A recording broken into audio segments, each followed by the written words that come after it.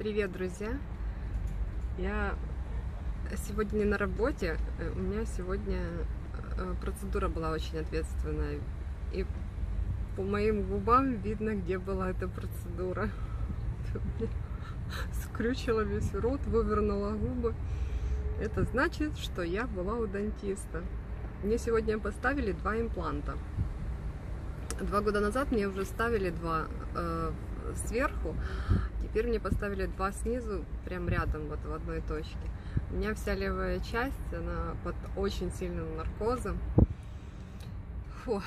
Это второй раз, но нервничала я как будто в первый раз. Хотя я знала, что это, это не сложно, это не больно, это намного легче, чем вырвать зуб, как оказалось. После того, как мне рвали зуб, я еще пила антибиотики неделю. Кто-то ошивается возле машины. И у меня были распухшие щеки, все лицо было надутое. А после имплантов я была удивлена, но я даже не пила таблеток. Вот ту таблетку, которую мне дали стоматологи после всего, сразу же. И, все, наркоз вышел, таблетка вышла, больше я не пила, никакой боли, опухлости, ничего не было. А, кстати, да, я забыла. Я надеюсь, что в этот раз тоже точно так же будет. Они дали э, щетку зубную, это для, для того, чтобы, ну, как после хирургическая, да, нежная такая, чтобы легко чистить. Мне дали лед, который я сейчас открою, и он начнет действовать. Мне надо будет приложить и два дня держать, чтобы синяка не было.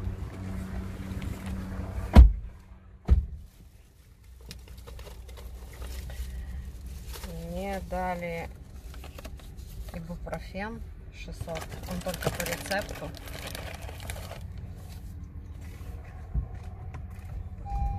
Что? И еще Тайленол дали. Это на всякий случай. Еще на всякий случай дали э, стерильные такие бинтики, если будет кровь, кровоточить рану. Это где-то полтора часа все длилось. Но импланты заняли всего лишь, может, минут 25. Как разрезали, винтили это все и зашили, это минут 25. Все остальное время мне давали постепенно наркоз, давали, ждали, давали, ждали, подкалывали, подкалывали. Потом еще делали снимок для будущих коронок. И вот это оно так заняло. И снова здравствуйте. Вы знаете, как говорится, беда одна не приходит, все тянется паровозом. У нас сегодня еще и переезд ко всему этому. Вот мы запланировали на выходные. Фу, и я с этими своими зубами мучаюсь. Вот уже и столы повылазили на улицу. Матрасы повыходили со спален все в одну кучу, все, одно, все одновременно. У меня уже просто крыша едет от этого всего. Сейчас приедет муж с нашим соседом. Они поехали взять машину, которую берут на прокат при переезде. Юхул называется компания. Ты там платишь 20 долларов плюс миляж. И сегодня это все загрузим. И уже будем ночевать там. Так, чтобы еще завтра воскресенье была возможность что-то что-то разложить там. Мы думали завтра перевозить это все, но уже смысла нет, потому что мы видим, что мы уже все вывезли отсюда. И ну что осталось? Одни матрасы, кровати. Так мы решили взять машину и перевезти сегодня все это. Сейчас это все будет грузиться. Вот Анька на кровать стоит вверх ногами. Жара несусветная. Я не знаю, там 35 уже сегодня, я уже не смотрела. Но просто страшная, жуткая жара. И у меня мои импланты опухают от жары. И знаете, как э, на свежую рану еще температура высокая получается. Я уже таблетки пить не хочу, прикладываю лед. И у меня утром была немножко припухлость такая на щеке. Вот так вот пакуем машины. э, обе и тащим. Сегодня уже, не знаю, уже две ходки было, наверное. Вот это вот в коробках все барахло. Тут уже все на кучу. И кухня, и стулья, и медикаменты. Постельное я там сложила наверху. И тащим двумя машинами. Сейчас уже самые крупные. Правда, не все вывозим. Мы хотим продать спальню. Сейчас выставим ее на, на продажу. Повесим на сайте OfferUp. Может, кто-то заберет. Потому что мы купили другую бэушную, правда, но, но она лучше нашей, качественнее. Телевизор сняли, запаковали. Стол забрал Санек свой, мониторы попаковал.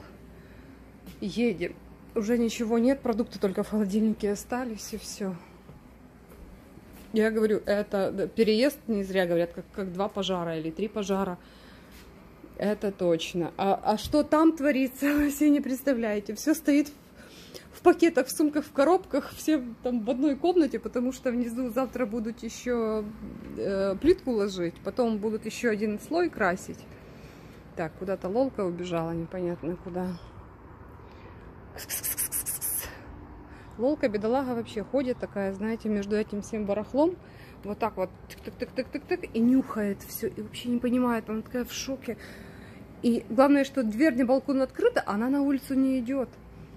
И такая сидит, я говорю, она, она боится, что ее оставят. Она уже знает, как ее 4 года назад паковали чемоданы и ее не взяли.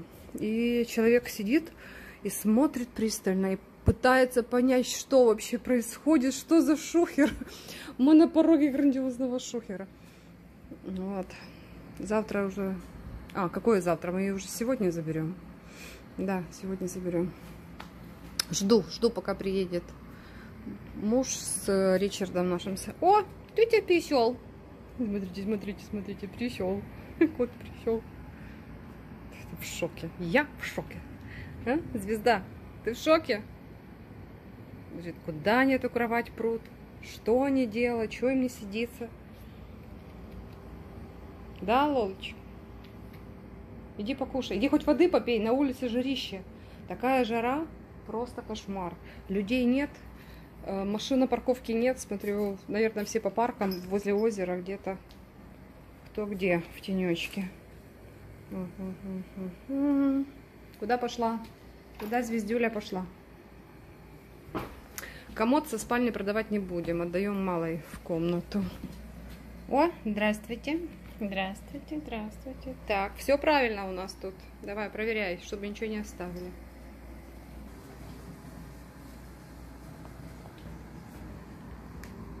Все, Оля Фреймут прошлась, проверила все, да? И ушла обратно гулять. Фу. О, кошмар. Такая погода. Сейчас гулять бы гулять, да, поехать бы. Вот меня друзья сегодня утром скидывают фотки. Уже были в Висконсине в 8 часов утра и катались на падалборде на, на этом на пляже. А мы все двигаем, двигаем, двигаем мебель. Лолка, ты куда? Смотри, а то тебя сейчас зажмут тоже куда-то. Товарищ все вынюхивает и вынюхивает. Машинка приехала, вот такие вот машинки 1995. И за такую же цену есть Ford F-150. И все остальное, что побольше, оно уже подороже.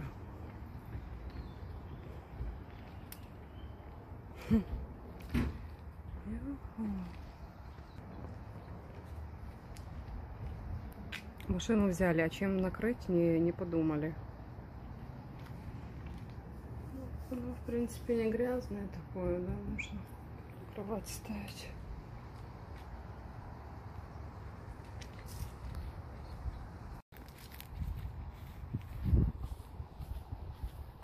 Так, уже закинули часть вещей, ну, большую часть. Еще остался диван и кресло, комод. Так, здесь еще место есть. Так, сюда же можно что-то еще поставить. Вот так вдвоем быстренько чик-чик забросали. А так бы еще тянули до завтрашнего дня. Все, загрузили третью машину уже, юху. вдвоем с соседом едут сзади. Я, я тоже затарилась по полной программе.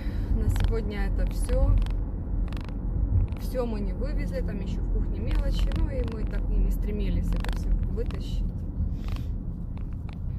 Уже 10 часов, я уже никакая. У меня где-то там ноутбук едет в барахле. У меня здесь э, кусок стекла со стола прямо на переднем сиденье в постельное белье. Это просто трэш какой-то. Это вот все сбрасывается, знаете, так.